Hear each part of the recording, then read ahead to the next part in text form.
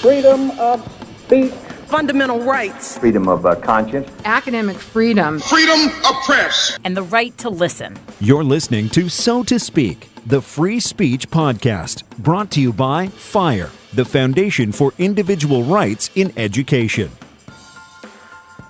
Happy New Year and welcome back to So to Speak, the free speech podcast, where every other week we take an uncensored look at the world of free expression through personal stories and candid conversations. I'm your host, Nico Perrino, and on today's episode, we tie up a theme that we've explored quite extensively over the past year.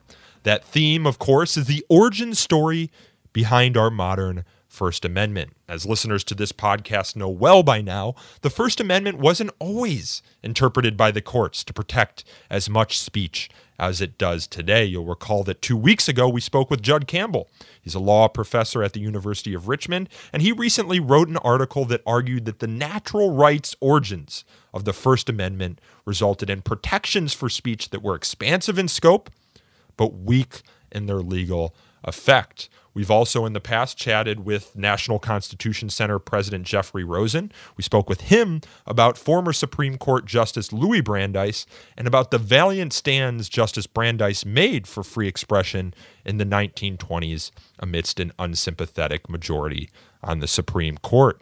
We've spoken with University of Chicago professor Geoffrey Stone about how the Comstock Act of 1873 restricted sexual expression throughout the country. And we've spoken with Professor Stephen Solomon about the ways that our founders expressed themselves, often under threat of punishment from the British Crown and later their own hard fought for United States of America. And finally, we spoke twice in recent months with University of Washington School of Law scholar Ronald Collins. We spoke with him about the effects that World War I and the Espionage Act of 1917 had on free expression in the early part of the 20th century. You'll recall that last year was the 100th anniversary of the Espionage Act and the 100th anniversary of the now largely forgotten decision by Judge Learned Hand in the case Masses v. Patten, which was one of the first free speech cases to challenge the constitutionality of the Espionage Act. In the course of some of these conversations, as you might recall, my guests and I have tipped our hats to one dissenting opinion by one Supreme Court justice in one 1919 Supreme Court case that perhaps more than anything else helped usher in our new era of free speech protections. That justice, of course, was Oliver Wendell Holmes, and the dissent came in the case Abrams versus United States. Today, we are going to finally dig in to Abrams versus United States and the intriguing story behind the man who wrote its dissent. And to help us along the way is Seton Hall law professor Thomas Healy, who is the author of the book The Great Dissent How Oliver Wendell Holmes Changed His Mind and Changed the History of Free Speech in America. Professor Healy is a man I've been wanting to speak with for almost a year and a half now since I started this podcast.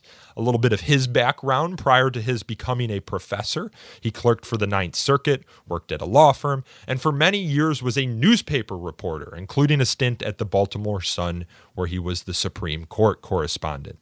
His book, The Great Dissent, which came out in 2013, won many awards, including the Hugh M. Hefner First Amendment Award. It was also selected as a New York Times Book Review Editor's Choice, and it's no wonder.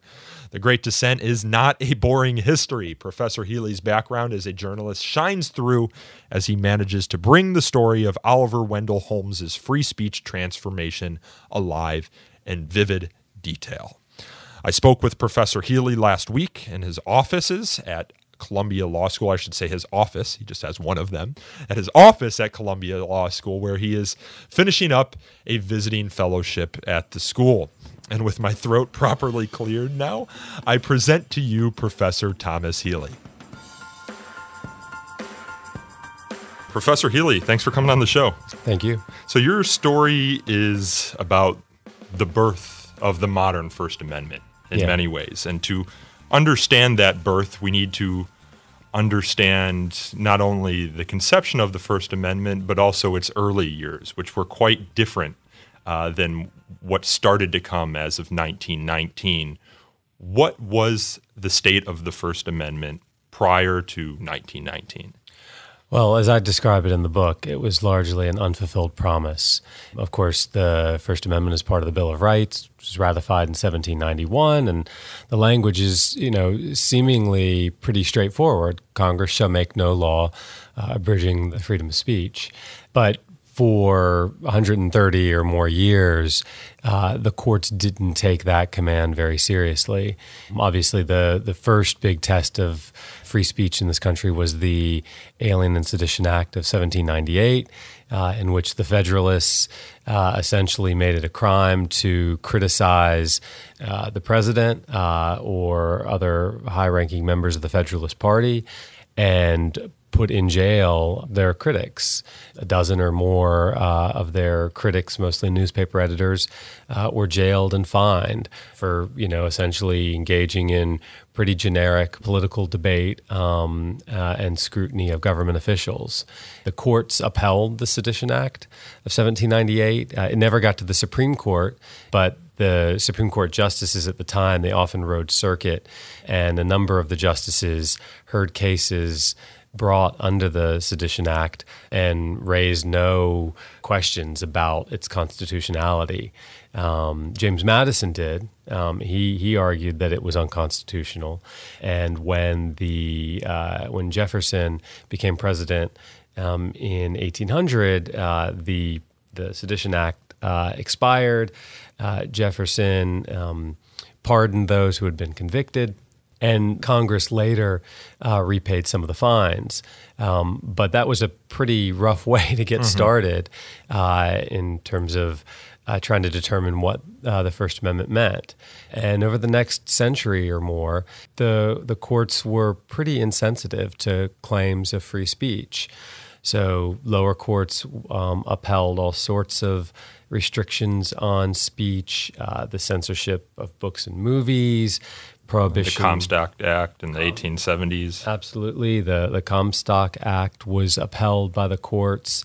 Uh, you know, the courts upheld prohibitions of street corner speeches and labor protests, um, and the Supreme Court. Uh, never once uh, throughout the 19th century or early 20th century um, upheld a claim uh, brought under the First Amendment, which is pretty remarkable if you think about mm-hmm. it. And so this modern birth of the First Amendment came about in large part during wartime. This is World War One, and through one man inspired by many other men. Uh, your your story is one of many different characters, but the the principal character is Oliver Wendell Holmes, who sits on the Supreme Court at the time. He'd sit on the sat on the Supreme Court for many years, and he's sort of an odd person to usher in this change because he's a man, as you describe in your book, who disdained all constitutional rights, who was an advocate of judicial restraint, famously saying, if my fellow citizens want to go to hell, I will help them. Uh, and he really had no qualms about the entry into the European conflict, as you write, and the efforts made by the government to ensure victory during that conflict at all costs. He said, Damn a man who ain't for his country, right or wrong. Uh, you say that summed up his views mm-hmm. On the matter. And, and most importantly, I guess, for sort of understanding how dramatic this shift is, he was the author of the opinion in Patterson v. Colorado in 1907, which codified this Blackstonian view of free speech uh, codified, in a certain sense, the bad tendency test and uh, really curtailed any sense that the First Amendment might be something larger uh, than that. Can you talk about that period of Holmes's life and his thinking about the First Amendment? Sure. Um, I mean, I think it's important to recognize that his thinking about free speech really just fits into his larger view about the role of courts uh, and about the uh, the function of democracy. And uh, as you as you uh, put it, uh, you know, Holmes thought that democratic majorities should be able to do what they wanted, um, and that judges shouldn't get in the way he believed in judicial restraint. And this was actually something that he had applied in many contexts, not just in uh, government restrictions of speech, uh, but in uh, government efforts to um, uh, to enforce uh, progressive labor laws. So, you know, his most famous dissent up to this point was in, Lochner, right? Was the Lochner dissent, um, in which uh, you know the majority of the court had struck down a New York law that limited the number of hours that bakers could work uh, in a day or in a week, and Holmes dissented, arguing that uh, the court had no business second guessing the judgment that the New York legislature had made.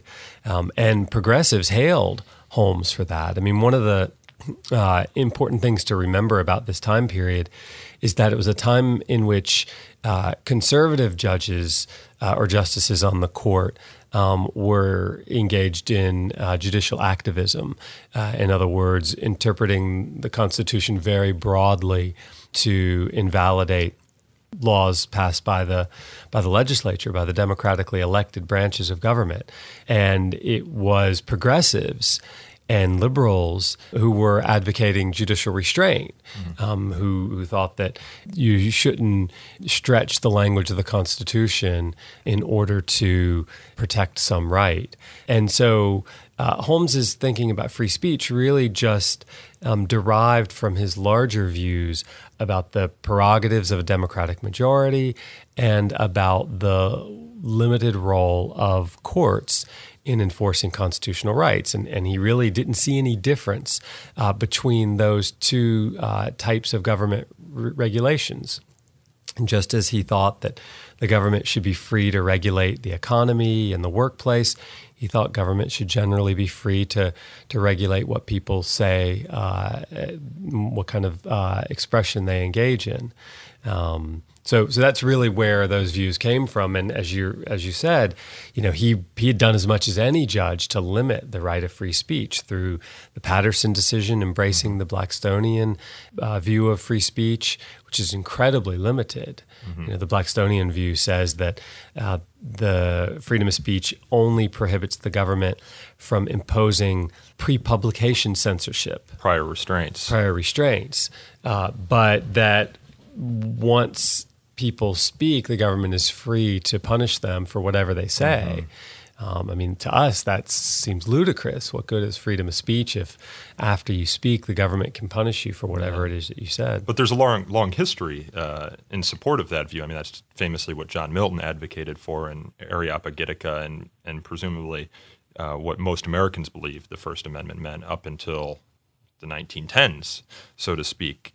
But Holmes's transformation began uh, kind of by a chance meeting on a train ride up to Beverly Farms, uh, which is where he spent his summers in Massachusetts. He met a man, uh, Justice uh, at the Southern District of New York, uh, Justice Learned Hand, who had recently written a decision in the case of Masses v. Patten involving a magazine, Masses, which published some articles and poems and cartoons critical of World War I and was sub- subsequently restricted from distributing those magazines through the the postal service, uh, and they filed a lawsuit and, and, won in the district court, but lost on appeal. And and Justice Learned Hand's opinion at the district court in support of Masses magazine was really you know, is the way our, our, friend Ron Collins puts it, the first shot about the bow against this old sort of First Amendment mm-hmm. interpretation. What did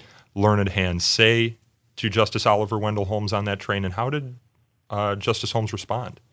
Well, Hand was um, Hand was rather upset at this point. This was uh, the summer of 1918, and it was a year earlier that he had uh, written his opinion in the Masses case, in which he ruled for the magazine and had interpreted the uh, the Espionage Act of 1917 narrowly. Um, the Espionage Act, of course, made it a crime to to, to publish false reports uh, about the war or to say anything that might uh, obstruct the draft or lower morale in the uh, in the uh, armed forces, um, and Hand's opinion in that case, in the Masses case, uh, had been overturned by the Second Circuit.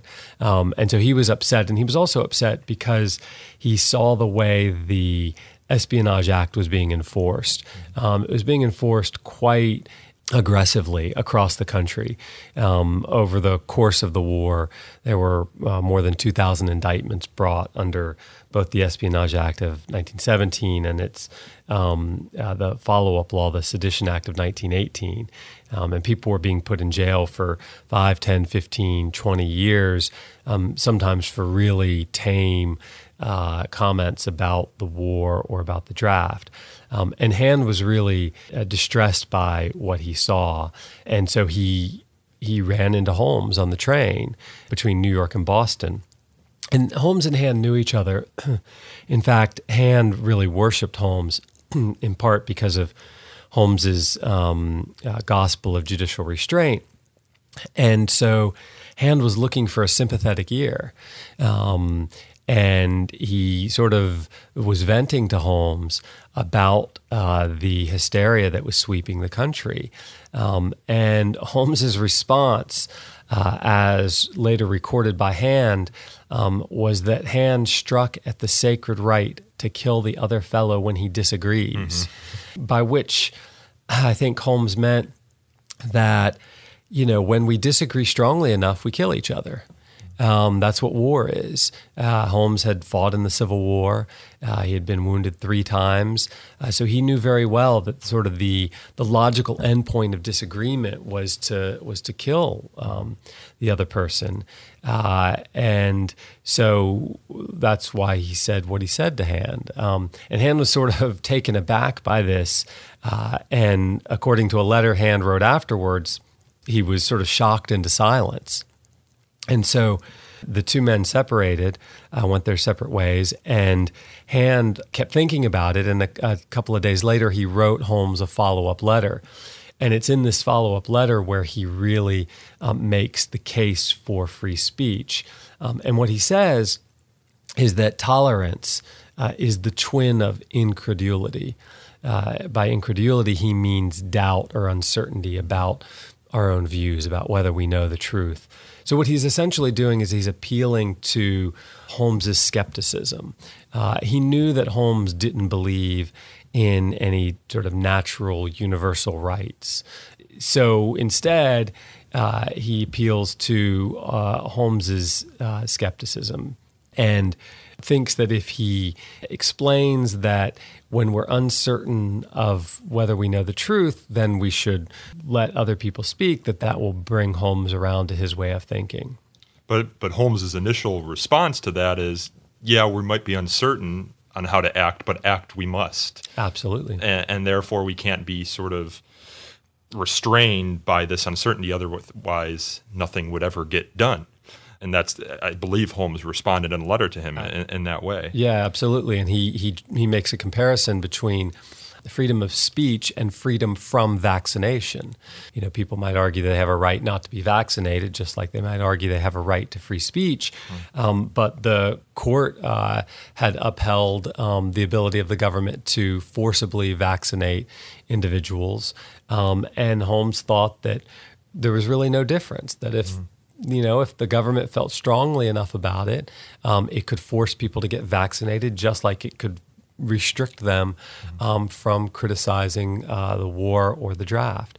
Um, and you're right. He he thought uh, that even though we're uh, we can't know the tr- truth for sure, we have to act. He says that is the condition of every act. Mm-hmm. You know, we're always acting in the face of uncertainty, but uh, but we have to act, and um, that holds true whether we're talking about you know vaccination or freedom of speech. Yeah. So after this meeting with Hand, Holmes gets sort of the full court press from his friends and from those he actually admires in the broader progressive community to change his mind about the freedom of speech. Uh, there's a cast of characters in here, and I'd urge all of our listeners to read your book and learn more about these cast of characters. They include Harold Laski, who was a progressive activist, a young friend of Holmes, someone Holmes actually considered to be a son of sorts. Holmes didn't have any children.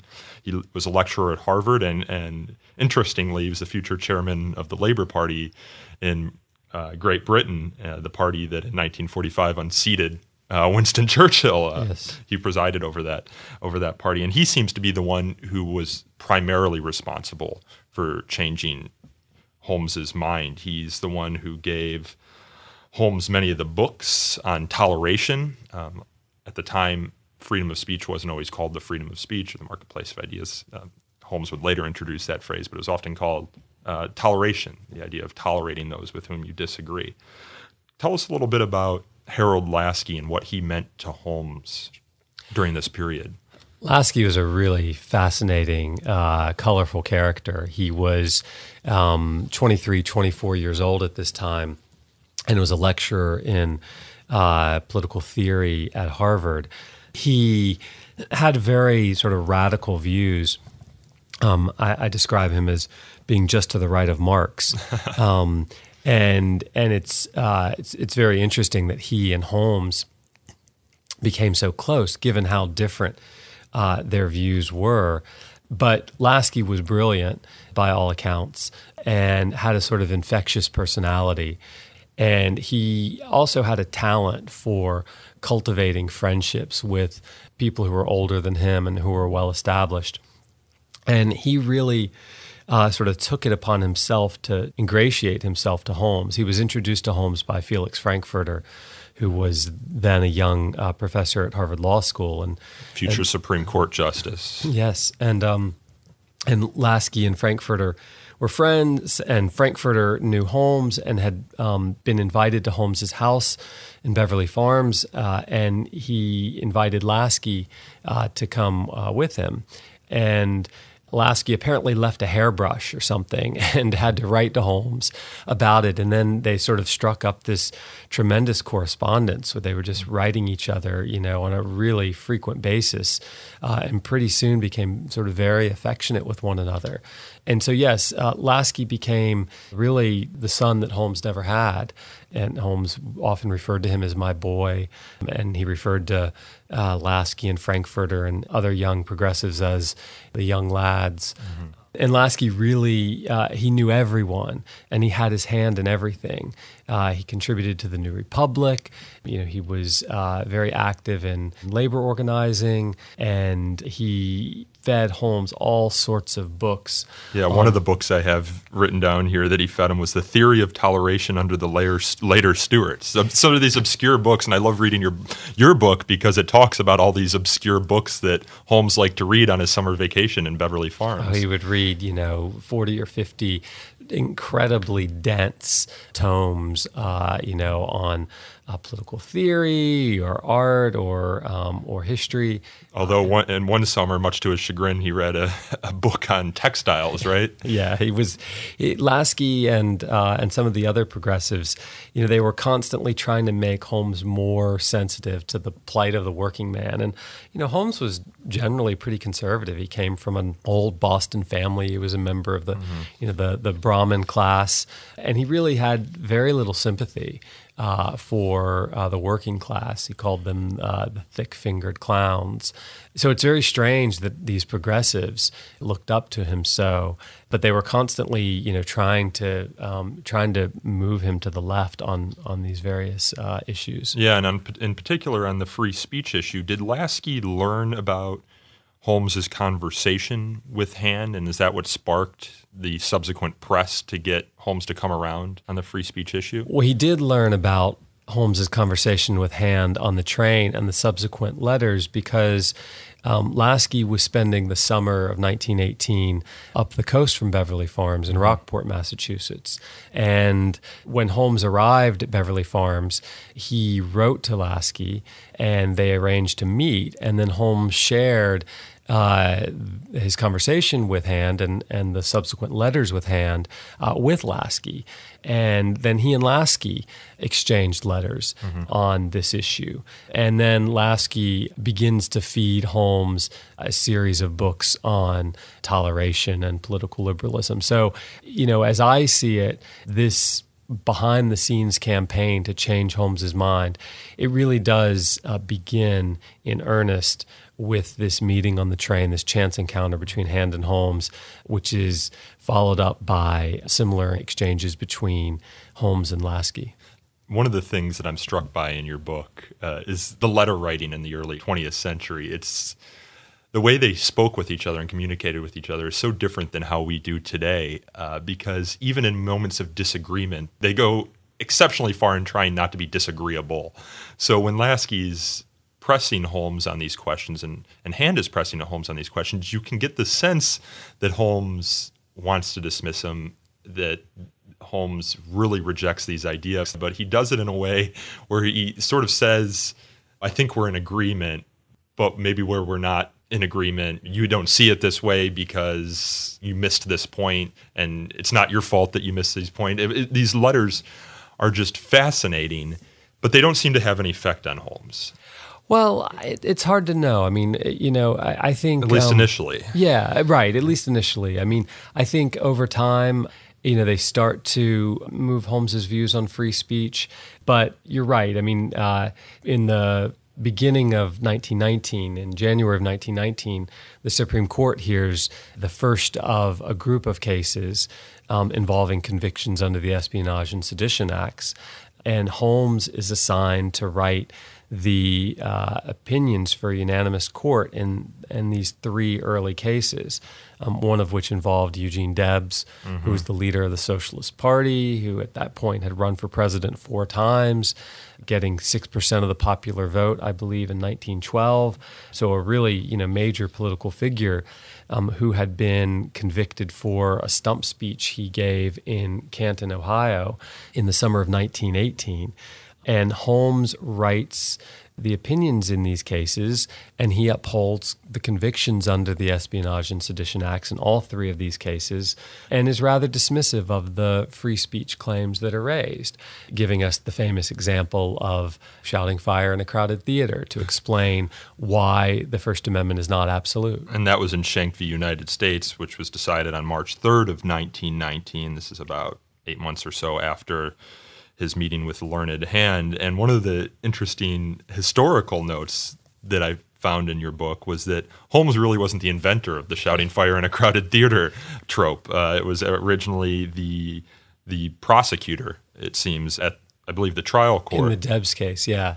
yeah. Yeah, he when you go back and you read that trial transcript, he's the one who um, who makes the argument that free speech is an absolute because, of course, you wouldn't protect somebody who falsely shouted fire in a crowded theater. Now, his elaboration of it was was far less eloquent. Yeah, I have um, it here. He said, "A man in a crowded auditorium or any theater who yells fire and there is no fire, and a panic ensues and someone is trampled to death, may be rightly indicted and charged with murder." Yeah, much so, less uh, eloquent. not, as, not as catchy as Holmes's mm-hmm. version, um, but yeah, Holmes uh, always read the uh, the transcript of record um, in the cases uh, that he was um, writing opinions for, and so yeah, I think it's pretty obvious that that's where he he got that example. Mm-hmm. But he's generally pretty dismissive of the free speech claims that are made. Um, uh, in these cases, which does suggest that these early efforts by Hand and Laski and some other individuals to to change his views have not been fully successful as of the beginning of 1919. Yeah, but the seed seems to be planted in at least one of these decisions. So there's three decisions. There's Schenck v. United States, which was written on March 3rd, or decided on March 3rd, and there's Frohwerk v. United States, March 10th, and then Debs, which was also March 10th. And he wrote the majority opinions for all three cases. But it seems the free speech advocates, people like Laski, uh, and in particular people like Zachariah Chafee, who's a Harvard law professor who also has occasion to meet Holmes later, find in his Schenck opinion this phrase, a clear and present danger. Holmes wrote in Schenck, the question in every case is whether the words used are used in such circumstances and are of such a nature as to create a clear and present danger that they will bring about the substantive evils that Congress has a right to prevent. It is a question of proximity and degree. This is different than the bad tendency doctrine that existed prior to that. And it is different than this resting upon the Blackstonian view of prior restraints. And Holmes, in the decision, even tips his hat to this in saying it well may be that the prohibition of laws abridging the freedom of speech is not confined to previous restraints, although to prevent them may have been the main purpose as intimated in Patterson v. Colorado. So we're starting to see a change here, even though Holmes, as you write in the book, may not be aware that he's doing it because clear and present danger isn't present in the Frohwerk decision, nor is it present in the Debs decision. But Zachariah Chafee sees this and in this classic like Victorian letter writing way says, Holmes, you must have meant this as a change. Holmes didn't agree with that because he was reluctant to disagree that he ever changed his mind. Sure. Um, later, when after he'd written Abrams and Zachariah Chafee had asked him about his earlier decisions, he just said he was ignorant, not that he was wrong. So, how significant was Schenck? Well, I think you're right um, that the seeds are being planted here, and and I I view Holmes's you know transformation on the issue of free speech as a um, as somewhat gradual over the course of a year and a half, say from you know the middle of 1918 to the end of 1919, you know, sort of maybe two steps forward, one step back, because it is true that although he um, dismisses the free speech claims that are made in Schenck and Frohwerk and Debs he first he uh, he abandons the Blackstonian view mm-hmm. um, in a sort of very casual, offhanded way, as though it's it's not that big a deal, as though Patterson had only suggested that the Blackstonian view was embraced by the First Amendment. But that by itself is a huge step in you know the history of free speech in this country to go from a regime in which the government is only prohibited from imposing prior restraints to a regime in which the First Amendment governs regulations after the fact, or restrictions mm-hmm. on speech after the fact, that's huge by itself. And it gets somewhat overshadowed because, in that same opinion, Holmes introduces this language of clear and present danger, which sounds quite different from bad tendency. Bad tendency means that if the speech has any tendency to cause any harm at any mm-hmm. time, the government can punish it. Clear and present danger, at least on its face, suggests that the government can only punish speech when the danger is clear, which I would take to mean, you know, likely, very likely, mm-hmm. um, and when the danger is present, meaning near, going to imminent, going to happen soon.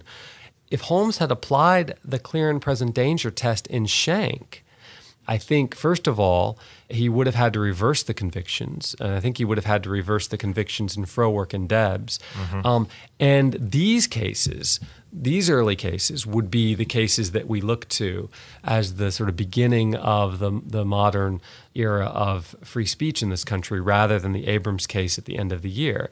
But he doesn't do that. Clear and present danger is a phrase that he seems to throw out there kind of casually. Um, it comes as best I can tell, and other people can tell, it comes from his thinking about the law of attempt.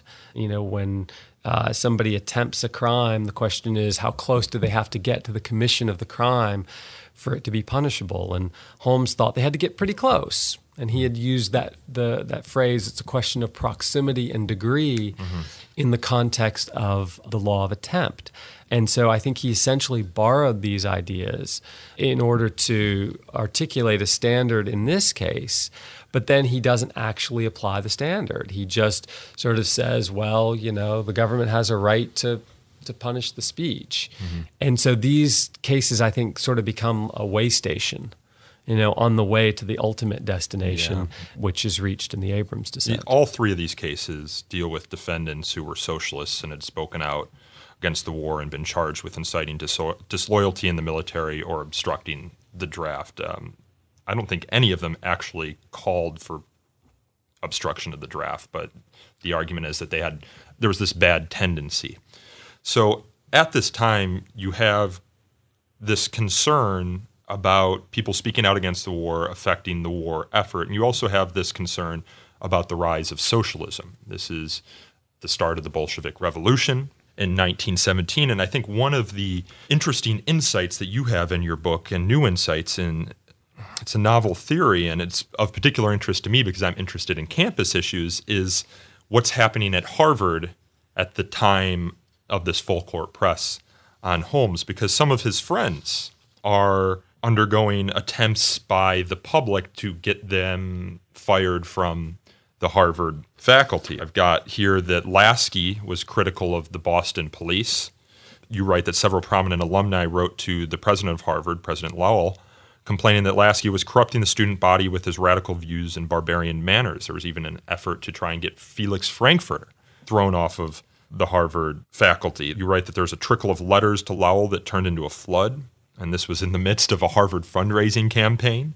But the president uh, refused to give in to the pressure, as you write. And he said, at least in the case of Frankfurter, Holmes wrote in to the president defending him. But in the case of Lowell, he refused to give in the pressure. I was struck here that he said if Harvard represented only one point of view, it would be stagnant. And that he said academic freedom is a fundamental principle of the university. I'm struck by how similar these controversies in 1917, 18, and 19 at Harvard are to today's controversies. Mm-hmm. It's like the more things change, the more they remain the same.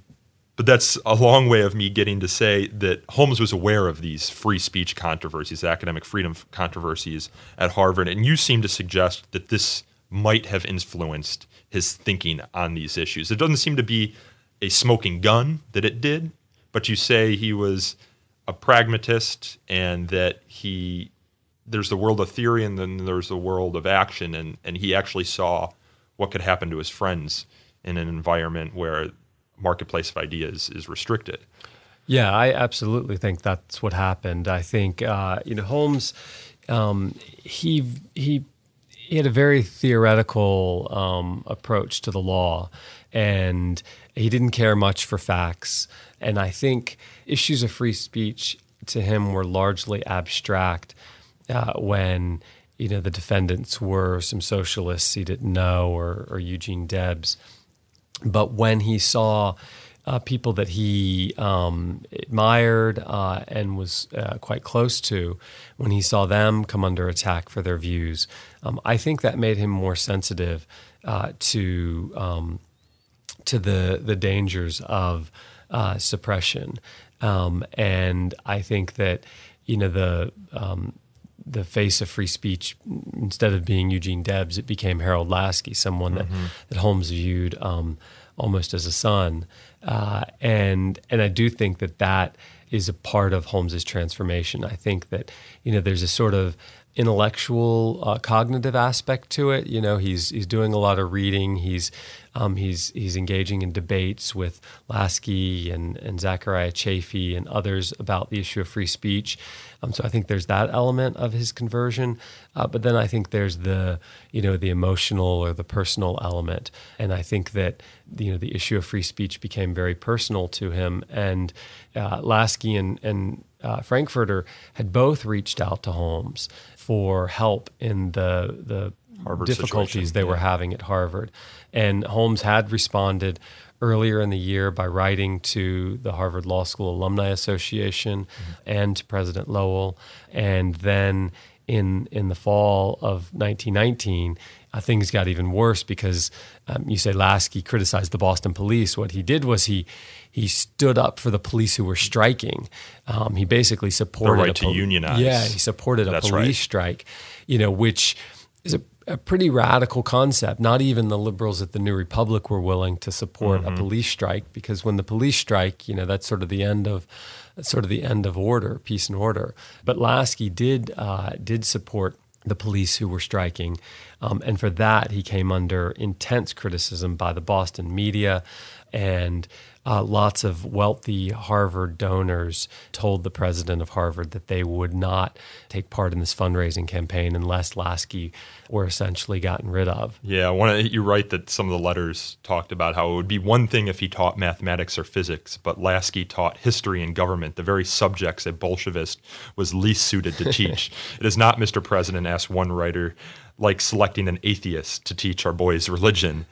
Uh, you could see some of these letters getting written to college presidents today, and I, in fact, have seen some le- very similar letters getting written, written to college presidents today. And ultimately, the pressure campaign was successful in driving Laski out of Harvard. Later, he is told by Lowell that he'd never get promoted to full professor, and he decided to leave the United States and right. go to the London School of Economics. But you also have another interesting historical note here that perhaps Holmes was reminded of during this controversy, which was 60 years earlier when he was a student editor at the Harvard Magazine. He had our own run-in with the campus authorities. The magazine at the time was publishing series of provocative articles, as you write, on abolition, atheism, and women in college. And you write that Holmes got caught up in the idealism of his own youth, had added his voice to the chorus, and urged readers not to avoid books of an agitating tendency. We must, he wrote, will we or no have every train of thought brought before us while we are young and may as well at once prepare for it? And in response to not only Holmes's articles, but the other articles the magazine had published, the faculty appointed a committee at Harvard to consider whether the magazine should be shut down. Um, whether Holmes was reminded this in the controversy, I don't know, but it's hard to imagine that he wasn't. But this is all by way of talking about the various influences that were occurring in 1918 and 1919 leading up to the famous changing of his mind. And he originally changed his mind in a much, you know, if it, it ultimately was Baltzer v. United States, which was Holmes's big change uh, decision. Uh, I don't know that it would be as successful as if it was Abrams v. United States. Tell us a little bit about Emanuel Baltzer, and I hope I'm pronouncing that right, v. United States. Well, this was a case that was actually um, came before the court before uh, Schenck, Frohwerk, and Debs. So this uh, case came to the court oh, that's in right. November of 1918. And it was um, a case involving a group of South Dakota farmers, mostly German immigrants, who were upset about the way the draft was being administered in their state. They thought that more young men from their county were being drafted than from other counties. Um, and so they had written a letter to the governor who, under the law, was responsible for administering the draft, complaining about this. The letter had only been sent to the governor, only seen by the governor and um, I think one of his aides, um, but they were prosecuted mm-hmm. um, under the Espionage Act. And Holmes, urged on by his fellow Justice Louis Brandeis, um, had written a dissent in that case um, largely relying upon the uh, right in the First Amendment to petition the government for a redress of grievances. That dissent, however, was never published because the government confessed error in the case before the decision was handed down. And there's some mystery as to what happened, and mm-hmm. I speculate in the book uh, that Brandeis tipped the government off that Holmes was writing a dissent that was going to be joined by himself and and at least one other justice, and, uh, and that the government didn't want that sort of dissent in its first case before the court involving the Espionage Act, so it confessed error and dismissed the case. And Baltzer, again, I think is another sort of step along the way. Uh, just as Schenck and Frohwerk and Debs show Holmes making a little bit of progress, I think Baltzer does as well. And yeah, it's interesting to think about what would have happened if the Baltzer decision had actually, you know, been issued and if Holmes's dissent had been published you know, maybe Schenck, Frohwerk, and Debs would have come out differently. Um, maybe the Abrams case wouldn't have been the same. It's hard to know. But because the Baltzer case was dismissed and because it, it didn't come to light for another 75 years when one of Holmes's biographers was digging through his papers, because of all that, you know, Abrams, the case decided in November of 1919 is the case in which Holmes really announces uh, sort of his a new a new view of free speech. Yeah, as you put it in the title, he changed his mind and changed the history of free speech in this one dissent that you call the Great Dissent. And Abrams uh, deals with the distribution of leaflets by socialists here in New York City, where we're chatting today. Uh, the story of how they distributed the leaflets is kind of funny. They went to the top of buildings and I guess flung them out and onto the the walking masses beneath them, and uh, were ultimately prosecuted under the Espionage Act for doing that. But uh, the court, I, in keeping with its decisions in Debs and Frohwerk and Schenck, um, ruled that this was a constitutional um, abridgment of speech. Uh, I guess you, they wouldn't have put it that way, but Holmes disagreed, and he disagreed in a profound way, rejecting the bad tendency doctrine, um, sort of reasserting his idea of clear and present danger. Talk a little bit about that. Right. So the the majority of the court, um, you know, upheld the convictions of these um, these anarchists who were Russian immigrants who actually did not so much oppose the war against Germany. What they had opposed was the meddling in the Russian Revolution. Absolutely, the Wilson's decision to send troops into Russia, which they viewed uh, these Russian immigrants viewed as an attempt to put down the Russian Revolution. Uh, so they had called Wilson a coward and a hypocrite, and they had urged workers in the munitions factories, of which there were quite a few in Lower Manhattan at the time uh, they had urged them uh, to go on strike, to not produce arms because they argued that these uh, arms would be used not only to kill Germans but to kill uh, their their brothers and, and comrades and family members at home in Russia. Um, and a majority of the court upheld the conviction, uh, simply citing to Schenck for the proposition that the government can suppress speech that threatens the war effort. You know, if you agreed with Schenck, Frohwerk, and Debs, the conclusion in Abrams was pretty much preordained. Especially when the facts in this case are seem to be worse than the facts in the three other cases. Worse for the defendants. Yeah. yeah. I mean, I think there's a stronger case for punishing the defendants in the Abrams case than in the earlier cases. And so it's no surprise that, you know, a majority of the court upholds the convictions, but Holmes dissents. And his dissent is written, um, uh, he says, uh, in a letter to Frankfurter um, that he wrote it quasi in furor, which is Latin for as if possessed. Um, so the suggestion here is that you know he sort of wrote it in a in a kind of worked up, passionate state, mm-hmm. um, and I think it's no coincidence that he's writing this at the very moment that Laski is under pressure at Harvard for his defense of the Boston police strike, um, and uh, and also some intense criticism in the Harvard Law Review and the New Republic, a progressive magazine that he was a great admirer of. Absolutely, um, and so Holmes writes this uh, dissent. It's a pretty short opinion, it's 12 paragraphs, and a large portion of the dissent is dealing with questions of statutory interpretation, uh, what sort of intent is required under uh, the um, the Espionage and Sedition Acts. But Holmes also addresses the the question of uh, the First Amendment, and the first thing that he does, which is hugely important is he reaffirms the clear and present danger test that he had introduced nine months earlier, but had really sort of left hanging. Um, in Abrams, he makes clear that that is, in his view, the correct test, and that it prohibits the government from punishing speech unless the speech poses an imminent or immediate danger. And he uses those words imminent and immediate over and over again to really drive home the point. And then he goes a step further and he explains well, he doesn't really explain, he concludes that the leaflets in the Abrams case pose no such danger. Uh, which is, which is hard to understand considering his decisions in Debs Frohwerk and Schenck. Absolutely. I mean, if you thought that the leaflets in Schenck or Deb's speech or the um, the newspaper articles in Frohwerk, if you thought those posed an imminent danger, uh, then it's hard to draw much distinction between those and the leaflets. It's a complete it's a complete about face too, because when he took some criticism from his friends for the decision in Debs, he said, you know, if it was me, I would never have prosecuted this case. But you know, I was given these facts by the jury, and, and the jury came to these decisions, and there's nothing I could do to overturn it.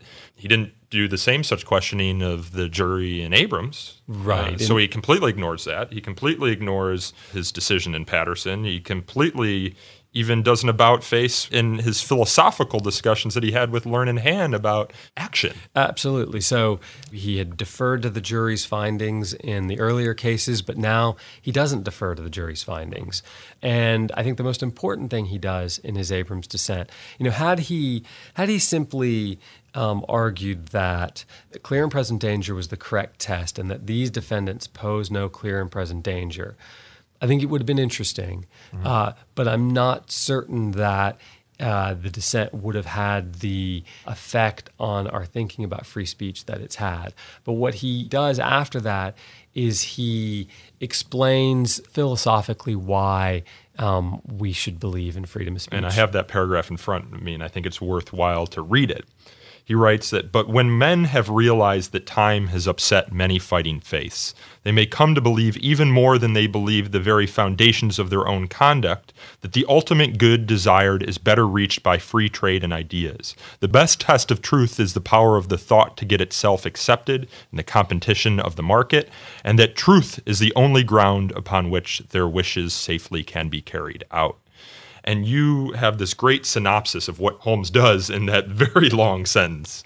You write, These then were the elements of Holmes's argument for tolerance an acknowledgement based on experience that human judgment is fallible, a recognition, thanks to Mill, that's John Stuart Mill, that free speech is the necessary predicate on which our bets about the universe must be based, and a conviction inherited from Adam Smith about the power of free trade and competition to promote the greater good Weaving these various threads together, Holmes responded to the logic of persecution in this one sentence. Yeah, I mean, I, I, think, you know, all of these discussions that Holmes had had over the past year and a half, all of these books and articles that he had read, all of the thinking that he had done about free speech, it really all comes together in this final paragraph in the Abrams dissent, um, in which he introduces the idea of the marketplace of ideas. He talks about free trade in ideas. And he finally has an answer now to the objection he raised earlier to Hand when Hand had said uh, that you know that tolerance is the twin of incredulity that that when we're uncertain we should be hesitant to suppress speech. Holmes's response was, We're always uncertain, but that shouldn't stop us from acting. But rereading John Stuart Mill um, over this time period, Holmes finds the answer to that objection. And Mill's answer was that it's true that we have to act in the face of uncertainty, but there's a difference between acting in the face of uncertainty and suppressing speech in the face of uncertainty. Because according to Mill, the fact that we have heard opposing views is the only basis upon which we can have any confidence in the views upon mm-hmm. which we're acting. You know, we're of course we're uncertain about whether we know the truth, but at least if we've heard the opposing ideas, we can think we've done the best we can. You know, this mm-hmm. is this is as far as we can go.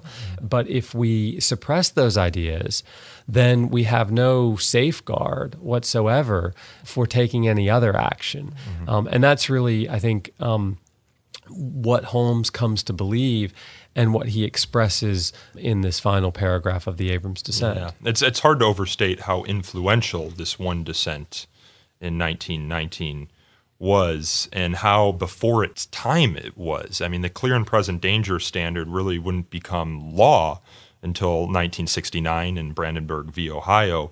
But Louis Brandeis and Justice Oliver Wendell Holmes, for years on the court after this initial dissent, were joining each other in dissents uh, in free speech cases. We have United States v. Uh, Schwimmer. You have Brandeis's famous dissent in Whitney v. California. But I want to ask you when we think about the legacy of Abrams, actually, when we think about the legacy of Oliver Wendell Holmes, do you think he did more harm than good for free speech when you consider that many of his opinions limiting speech pre Abrams sort of codified this old school of thought. And do you think that had Holmes not written Abrams, do you think Brandeis could have done all the good that Holmes had done by himself, or was Holmes such a powerful figure that it could only have been done by him? Well, to answer your first yeah, there's question, three questions in one. to answer your first question, I think Holmes did more good for free speech. Uh, I think I think he helped it more than he hurt it. Um, you know, the views that he expressed pre Abrams were views that lots of other judges and justices were expressing. Um, it's true that he wrote the opinion in Patterson, but you know everybody on the court, other than uh, John Harlan, joined that opinion, and, and it didn't seem like he gave that opinion much thought. I guess he was inspired from a Massachusetts Supreme Court justice, and yeah, you know, I think that was um, that was a pretty common view at the time mm-hmm. that that the First Amendment codified the Blackstonian view of free speech. Mm-hmm. Um, so I think you know Holmes was was um, not all that different from other judges in his view of free speech prior to 1919. So I don't think he he did you know any particular harm to the cause of free speech and and I think that you know his Abrams dissent and the the subsequent dissents um, did a, a, you know a tremendous uh, amount of good in our in terms of our thinking about free speech. I mean, not only does he abandon the Blackstonian view on behalf of the court. Uh, he gives us the clear and present danger test. He explains how it should be applied. He and he and Brandeis explain how it should be applied.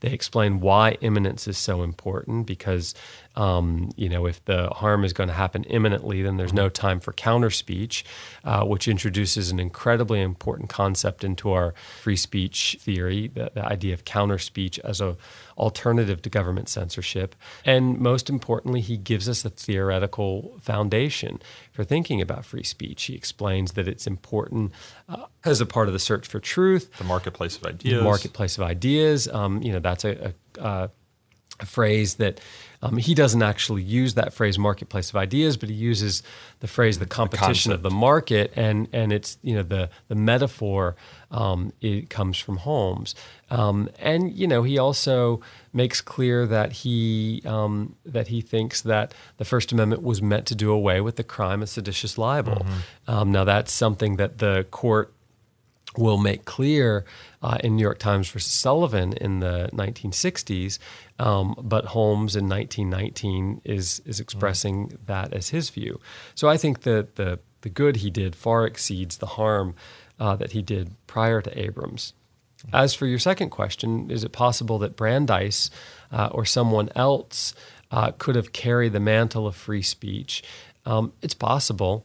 Um, you know, had Holmes not written this dissent, would Brandeis have dissented in Abrams? Um, we don't know one way or the other. I mean, Brandeis did join his dissent. Yeah, but the note he sent to Holmes was sort of just like three or four words. Right. You know, very good. I, I join or I concur or something. you know, Brandeis later said that during this time period, um, he thought at the issue of free speech rather than through it. Um, I think he actually didn't give it that much thought during this uh, during this time period uh, because he was quite um, preoccupied with other issues, including uh, the Zionist movement, of which he was uh, uh, the leader in America. Mm-hmm. Later, he does, um, you know, he writes this beautiful opinion in Whitney, um, and he is quite eloquent. Um, would he have come up with clear and present danger? Would he have um, written quite so eloquently and confidently um, without Holmes's example, it's hard to say. Um, and even if he had, uh, would his voice have carried the same weight as Holmes's? I think one reason to doubt that it would have is that Brandeis was largely viewed as an outsider. Um, he was the uh, first Jew to mm. sit on the Supreme Court, and uh, you know he was uh, he was incredibly wealthy, and he he was a part of the upper crust in Boston, but he was because of his um, uh, uh, the fact that he was Jewish, he was viewed as an outsider. Um, Holmes, on the other hand, uh, was the sort of ultimate insider. He was came from an old Boston Brahmin family. You know, his ancestors uh, went back to the 1600s um, in the United States. Uh, he fought in the Civil War. Um, you know, he was a, a good sort of rock ribbed conservative. Um, and so when Holmes, um, you know, uh, raised his voice in defense of free speech, I think that that meant something, mm-hmm. um, and it carried more weight than it than it would have had it come from someone like Brandeis. Yeah, I hate to end on a down note, but one of the interesting stories in your story is how Judge Learned Hand and even Felix Frankfurter later changed their mind. Judge Learned Hand in Dennis v. United States, and you consider Judge Learned Hand perhaps was the person that led the charge, helped inspire Holmes to change his mind first in Dennis v. United States, which dealt with um, expression on behalf of members of the Communist Party or alleged members of the Communist Party. He sided with the government uh, in suppressing their speech. And he said that in each case, courts must ask whether the gravity of the evil, discounted by its improbability, justifies such invasion of free speech as necessary to avoid the danger. And in this case, he he said it did, and and, and justifying that, he also rested on this idea of judicial restraint, which Holmes was initially the greatest champion of. Sure. Uh, and then Felix Frankfurter, once the case gets up to the Supreme Court, writes with the majority opinion in what you call an anguished, uh, using anguished language, um, asking the question, you know, how dangerous is the Communist Party? And he thought pretty dangerous. So it's it's strange that you have Felix Frankfurter just and Justice Judge Learned Hand, you know, the, the champions of free speech before Holmes, but later sort of turning back that that legacy, changing yeah. that legacy. Well, I, I, I, do think that that is um, it's a sort of odd twist in the story, um, and and you know perhaps a, a discouraging one. I think that um, it really comes down to their belief in judicial restraint, uh, which grew uh, the longer they were on their respective courts. Mm-hmm. Uh, Hand went so far as to um, is to call into question the Supreme Court's decision in Brown versus Board of Education, mm-hmm. arguing that that was um, an example of uh, unwarranted um, judicial activism. Um, and so I think that their belief in judicial restraint became, you know, nearly absolute. Um, in their later years, um, and that's why they were unwilling to use their uh, positions as judges um, to rule against the government in those cases. Um, it doesn't mean that uh, that they themselves were caught up in the hysteria of mm-hmm. the of the Red Scare or of McCarthyism. Hand made clear in letters that he wrote to friends that he was disgusted by the whole episode, mm-hmm. um, but he simply thought that he couldn't do anything about it. Um, which is different than his view in 1917. Yeah, because um, I, I have to think he could do more about it then than he could have done about the you know prosecution of masses in 1917 sure. and if you read that masses decision he really wiggles his way around in, in arriving at his verdict. Absolutely. He was a smart judge. He could have he could have um, he could have made a good argument and and he could have simply applied the clear and present danger test instead of doing what he did which was to largely um, gut it um, in his in his decision in. Um, but he never agreed in, with Holmes on the clear and present danger test. He never did, and that may be why he later gutted it, thinking that it wasn't a good test. Um, he may have wanted to get rid of it, but you know, it was better than than the alternative, which was really no test, or to go back to bad tendency, um, which is. Um, in effect, what he what he did in the Dennis case, um, so I do think that that's a you know maybe that's a cautionary note here judicial restraint is is certainly um, uh, admirable um, in certain circumstances. But I think what Holmes did was he um, he articulated a theory about why judicial restraint should not be practiced quite as strictly in the context of free speech as in some other contexts. Yeah. Well, it's a fascinating story, and it's one I hope all of our listeners will pick up. Professor Healy, thanks for joining me today. Thank you very much. That was Seton Hall law professor Thomas Healy, and his book, available wherever fine books are sold, is titled The Great Dissent How Oliver Wendell Holmes Changed His Mind and Changed the History of Free Speech in America.